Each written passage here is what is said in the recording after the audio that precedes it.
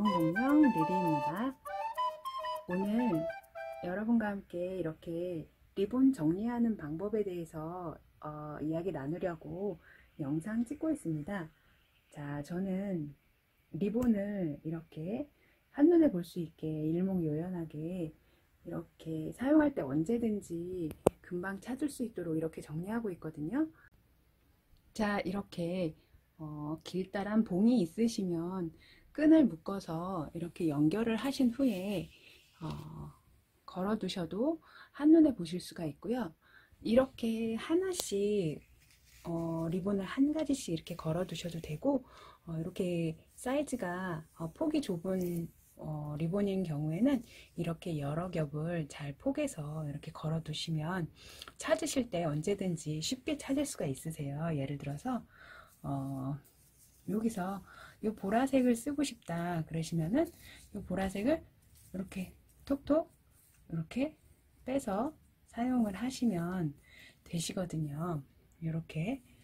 자 그리고 이런 봉이 아니어도 자 짜잔. 전 이렇게 세탁소 옷걸이에도 이렇게 걸어 두기도 하는데요 이렇게 짤막짤막한 리본들 같은 경우 어, 쉽게 잃어버리거나 어디 봉다리에 넣어두거나 서랍에 넣어두면 찾기가 참 애매하고 있는지도 모르거든요. 근데 이렇게 걸어서 종류가 비슷한 것끼리 묶어두면 어, 제가 뭘 만들고자 할 때 이렇게 색상이라든지 어, 뭐 디자인이라든지 비교하기가 쉽거든요. 그래서 이런 식으로 해서 붙박이 장이나 뭐 있으시면 쭉 걸어 두셔도 찾기가 굉장히 쉬우세요.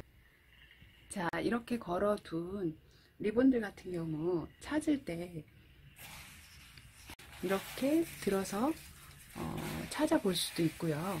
그리고 이거를 돌려 볼게요. 이렇게 돌려서 보시면 자 이렇게 층층이로 되어 있는데 이렇게 이렇게 찾아봐도 어디 눌리지 않기 때문에 어, 주름이 지거나 그러지 않아요. 그래서 어, 뭐 요게 마음에 든다 그러면 요게 어디 걸려 있는지 이렇게 확인을 하시고 돌려서 빼내셔도 되고 자 이렇게 돌려서 아, 예를 들어서 사용하고 싶은 게 음, 요거다 요거 스티치가 들어간 골직 리본 요거 같은 경우 빼실 때도 이렇게 이렇게 빼서 얼마든지 쉽게 빼서 사용하실 수가 있으세요. 자, 그리고 거는 법. 자, 이렇게 주름이 지지 않도록 거는 법 알려드릴게요. 자, 이제 옷걸이에 리본을 거는 방법을 알려드릴게요.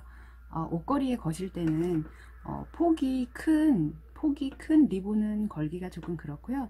어, 3cm 안쪽으로 되는 사이즈의 리본을 걸어 두실 때 좋을 것 같아요. 어, 그리고 폭이 큰 거는 이렇게 동그랗게 말아서 잘 보관하시면 될 것 같고요. 이거 같은 경우 1.5cm 되는 골직 리본인데요. 색깔 구별 없이 이렇게 한꺼번에 묶어놓고 필요할 때마다 이렇게 조금씩 잘라서 쓰거나 이렇게 했는데 이렇게 하는 것보다 자 이렇게 옷걸이가 있는데요. 옷걸이는 이렇게 여러 가지가 있는데 이렇게 옷걸이 밑에 고리가 있는 게 있어요. 요거는 조금 불편하더라고요. 그래서 요거 말고 어, 이렇게 아무것도 밑에 없는 이런 옷걸이가 좋고요. 아니면 이런 세탁소 옷걸이를 사용하셔도 좋으세요. 자 먼저. 저는 어, 리본을 관리할 때 색상별로 조금 모아두는 편이에요. 예를 들어서 지금 이렇게 잘 여기는 분류가 되어 있는데 어, 이렇게 파란색 계열 그리고 그린색 계열 그리고 흰색 계열 노란색 계열 이렇게 있는데 요거는 그래도 분류가 좀 돼 있어서 그럼 이렇게 여기서 조금씩 정리를 해 볼게요. 자 요것도 이쪽으로 포함을 시켜 놓을게요. 자 이렇게 거의 한 50cm씩 돼서 거의 한 80cm 정도 되는 리본인데요. 이렇게 음, 더, 더 많이 겹쳐도 되는데 저는 이렇게 색상별로 구분을 하기 위해서 이렇게 리본을 모아 두시고 이 부분을 이렇게 가지런히 하신 후에 이렇게 말아주세요. 이렇게 고리 모양으로 이렇게 해서 이렇게 합쳐주시면 되시는데 이렇게 고리가 되거든요. 링처럼 이렇게 리본 하듯이 이렇게 링이 되는데 이 부분을 여기다 이렇게 걸쳐 주시고 이렇게 한 바퀴 돌려서 여기 구멍 안으로 이렇게 가지런히 겹쳐 놓은 리본을 이쪽으로 쏙 빼는 거예요. 이렇게 쭉 빼서 살살 당겨주면 어디 하나 접히는 부분 없이 이렇게 잘 걸리거든요. 그래서 이렇게 걸어 놓으시고 또 파란색 이렇게 보시면 파란색 계통으로 자 이게 보라색 계열이 있는데 이것도 따로 색깔별로 해놓으면 좋더라고요. 파란색 조금 전보다 좀 전보다 좀 많죠. 색상이 좀 많이 되어 있는데 얘도 마찬가지로 이렇게 가지런히 접어서 이렇게 고리 모양으로 리본 모양으로 이렇게 잡아주시고요.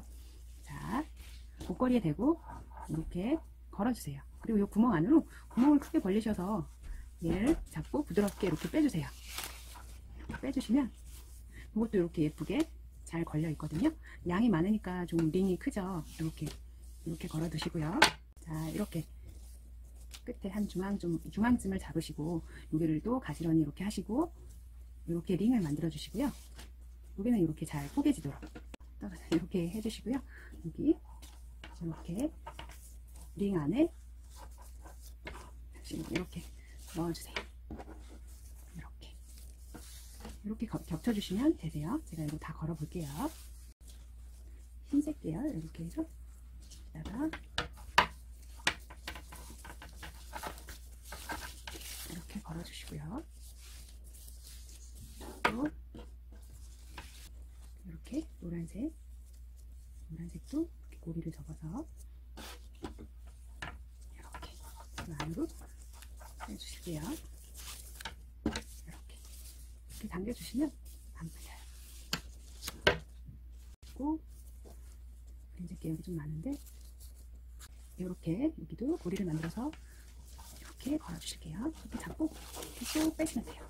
그리고 자 여기도 이렇게 잡아서 고리를 만들어서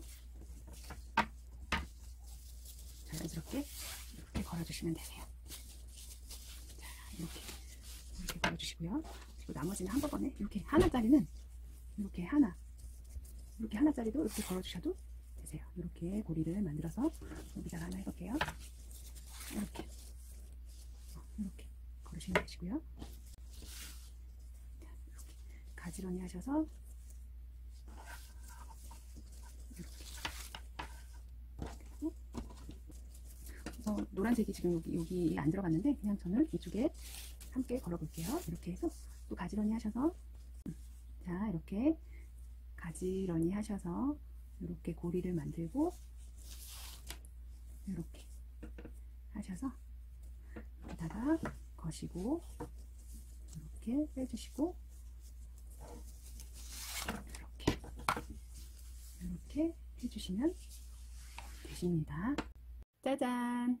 이렇게 다 걸었습니다. 이렇게 짧은 리본들은 이렇게 걸어 두시면 찾기 굉장히 쉬우세요. 그리고 색상을 이렇게 찾아보실 때도 어, 떤 색으로 하지 이러시면서 이렇게 찾아보기가 굉장히 수월해서 요거 어디 뭐 주름이 지거나 접힌다거나 이러지 않아서 굉장히 좋아요. 이렇게 걸어 두시고 사용해 보셔도 좋을 것 같아요. 자, 이렇게요. 자, 여러분께서도 이렇게 옷걸이에 리본 걸어서 어, 편하게 한번 사용해 보세요. 자, 영상 시청해 주셔서 정말 감사합니다. 여러분 늘 건강하세요. 감사합니다.